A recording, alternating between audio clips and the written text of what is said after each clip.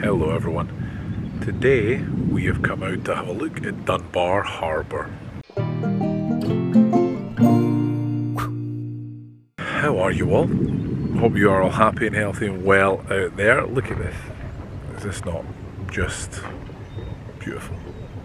Um, yeah, I thought we'd leave Edinburgh today and come out to Dunbar Harbour because Kirsten and I came here with Lillian yesterday just to get out of town, just to have a little look about.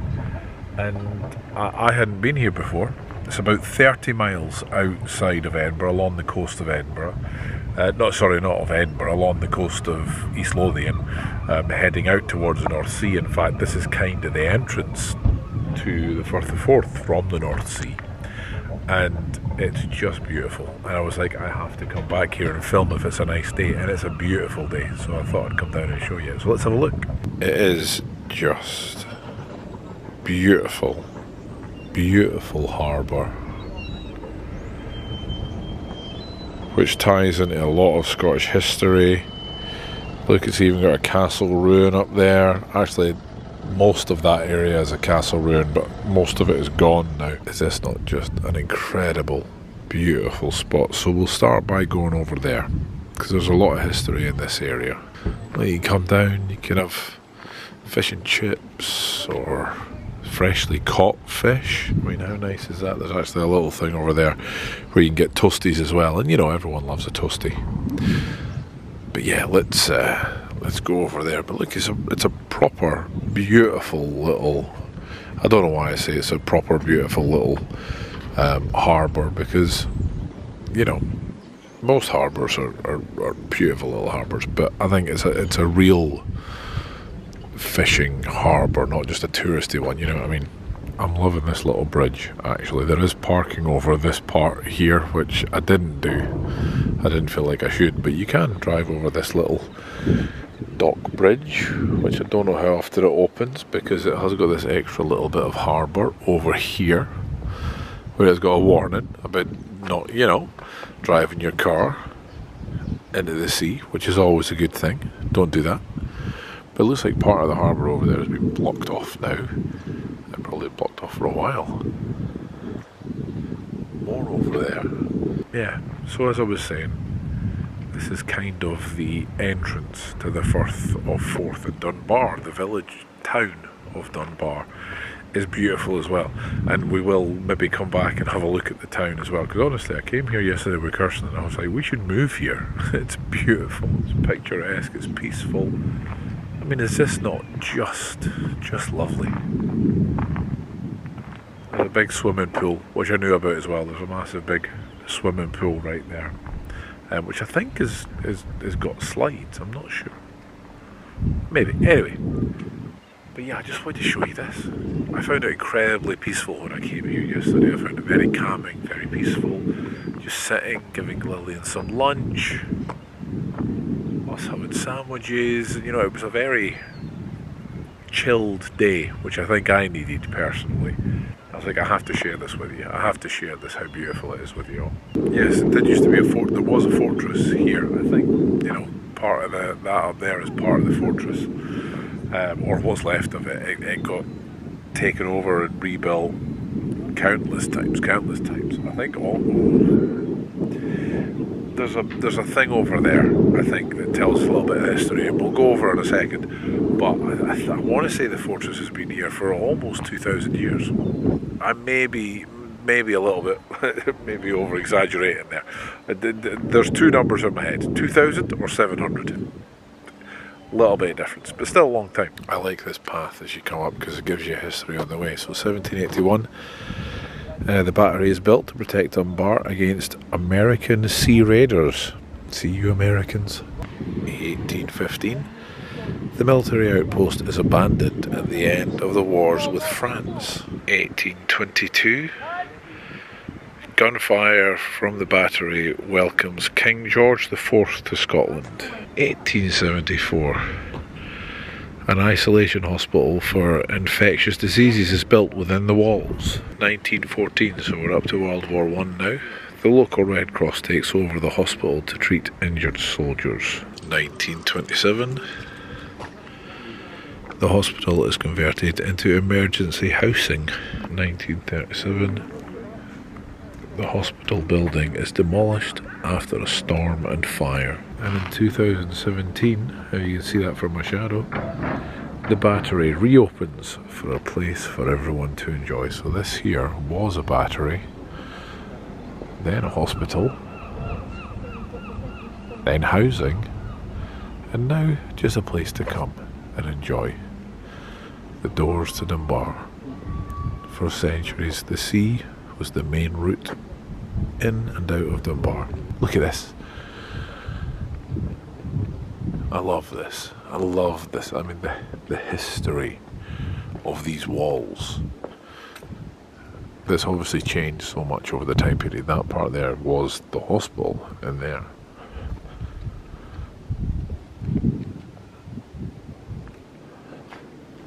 Fireplace. It looks like you know, they've still got charcoaly marks in there. I don't know when the last time it had a fire, but it's definitely still got sort, sort of that burned look in it. Uh, some vessels never reached the safety of our harbour. Between 1819 and 1860, wrecks include. Oh, is this all wreck ships?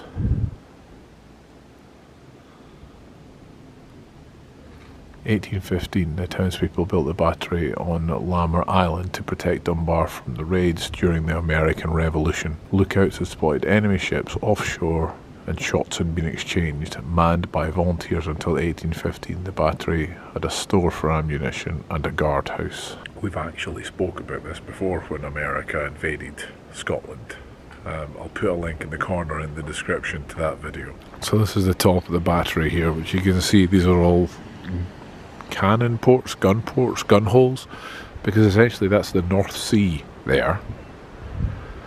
This is the entrance to the Firth of Forth. Like if you sail all the way up there for 30 miles, you get to Edinburgh. So this was the the port of of defence, I suppose you want to call it.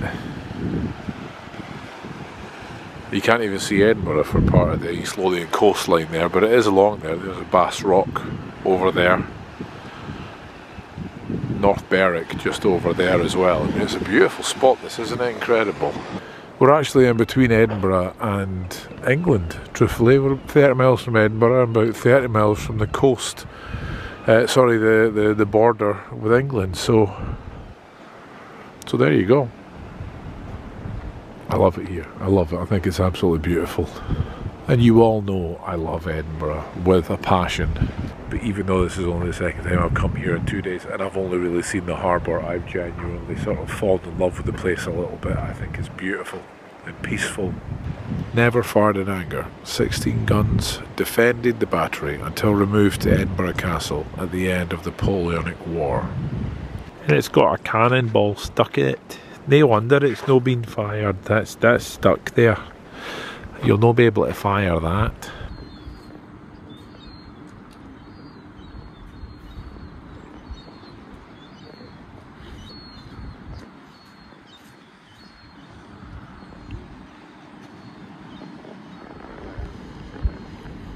Now we never actually walked along this part yesterday because Lillian was getting a little bit, you know, a little bit tired, a little bit cranky, which is, you know, as her wont as an 11 and a half month old. I can't believe, I can't believe she turns one at the end of this month. I mean, where did that year go? Honestly, where did that year go? This is just incredible. It's so peaceful if you get the chance, if you are in the area, it's you can get the bus. You can get the bus from Edinburgh to here. You can come out for the day, especially if you get a lovely day. You're just gonna you're just gonna be in your element. Come down to the harbour, enjoy this. Take a walk along the high street. We will come back. I'm not going to do it all in one video because it's worth more than one video learn about the things that they fish. I mean, there's definitely they definitely fish crabs and lobsters and things because I can see the the I don't know they're not called nets, but you know what I mean. Water sports, kayaking, canoeing, windsurfing. This is just I've fallen in love. I love it. I absolutely love it. It's so beautiful. And I know I keep repeating myself now. If there was a drinking game to this one, you don't want to go with beautiful or peaceful or, or any of these sort of things because I've genuinely fallen in love with this this spot here. As you can see, the lifeguards have um, not lifeguards, lifeguards. You know the people that go out in boats and save people. That's going to be really embarrassing. I remember what it's called. Coast Guard. Literally the second I stopped recording, my head went. It's called the Coast Guard.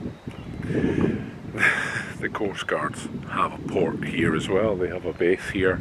There's the Coast Guards boat. I don't think it's a ship, it's a boat. They've got a berth right here. But see, see words come to me. Um, 18th century historic building. Even the wall is a historic building. It's got it's got a little plaque right there we will go over there. There is a um, plaque, not a plaque. You know, one of the things you read. My, oh, words. Words are, are, are not coming to me to me today. To, ah. Information board. We'll call it an information board down there about the castle, which I read yesterday. And I'll go back and because I still want to confirm how long the castle has been here for. Like I said, my head's either going 2,000 or 700. I don't know. Um, but part of it was blown up. Part of it was blown up to make this entranceway here. Because remember, we saw the other one on the other side that's all blocked up. So uh, maybe they've decided that this was more defensible because you kind of have to come round around the corner. So ships and boats would be able to get out of here a bit more safely instead of essentially going out straight into the North Sea. I don't know. I don't know. You can do diving. Dunbar Rock. Around 350 million years ago, Dunbar was surrounded by volcanic activity. Now, Dunbar Harbour and its coast are geological uh, geologists. Geological, well, same thing. Geologists' dream. I'm not going to read all that. You don't want me to read all that. But if you are into geology, this is apparently the place to come. There's nothing stopping me from falling in here, I will say that. So this could be a very wet video. There is no safeguard. I've got a danger sign at the end here to say don't keep walking. There's a wee boat coming in. Oh, it's just lovely. It's genuinely just lovely. Golf courses as well. Look at that, there's some of the old old castle brickwork right there. There's another. There's a, there's an arch there. Can you see that arch? It's difficult to tell. The sun's actually quite blinding, and I can't make out on the camera what we're seeing. But there, yeah, I think you can see that. There's a little bit of an arch, top of an arch there. You can't go up there. It's all blocked off, so I can't get up there to really explore it. And you know I want to explore all that properly. Probably so many little hidden bits dug into the rock and everything.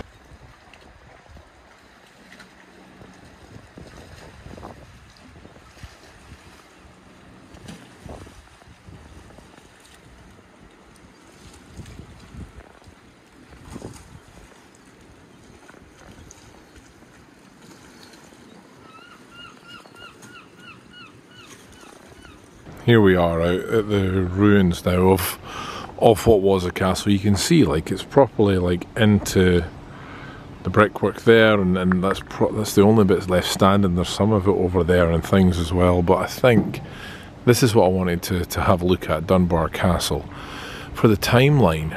Truthfully, oh wait a minute, 600s. The site was in the hands of the Kingdom of Northumbria in later part 2000. Here we go. This is what I'm talking about. We do know it has always been defensive. Dunbar means the fort, my shadow's not helping there, and the headland or point. The castle has been a fort for more than 2,000 years, probably since Roman times. I was right the first time. Shouldn't have doubted myself. 2,000 years. 2,000 years there has been some sort of fort or castle or defensive point on this part. How cool is that? It does say here, I'm not going to go into the full history, but it does say here that a lot of parts they don't know essentially what it looked like because it had been attacked and knocked down and rebuilt so many times that it's impossible to know what the shape of it was. Um, but you can see there's some of it over there, there, yeah, yeah, yeah, and then over here, and then you can see there's still one. There's one part standing there. The painting's not giving me much away, but there's two parts standing there. See that? That's gone. That's gone as well, and that's this. That's the harbour where we are now, and there. That's that there is where it's been blown up, so they can they can get that there. See that? So even then, even before that was gone, and this is kind of where we are right now. This is where we're standing. That it was a ruin then. Wow. I mean, look at all of that. Yeah, I can't go up to it. You see, there's gates and it's blocked off, and I can't get up to it. Which, I mean, in, in one sense, I'm really happy that it can't go up and it can't be destroyed and it can't be ruined. On the other sense, on a selfish sense, oh my God, do I want to go up and have a look? How do I get invited? Someone find out how I can get invited to go up and have a wee, a wee tour, a wee look round. Is that not just incredible, though? the hidden hatchery. See, there's hidden bits. I mean, I don't know if it actually counts if there's a big sign saying there's a hidden bit, but still, I love it. I love it. Look at that. How beautiful is this? And that's part of the look. You can see bits. You can see bits that are there's more brickwork there that you wouldn't expect. And tunnels and oh, it's just beautiful. Look, there's a there's a there's a uh, that must be like an entrance or so. Oh, oh, I just want to explore. I want to play. I want to go in and play. Anyway, anyway, on that note, I think we'll leave it there. Dunbar Harbour.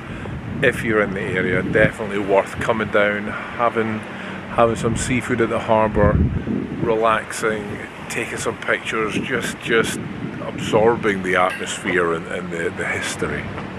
It's just beautiful. I hope you've enjoyed that today.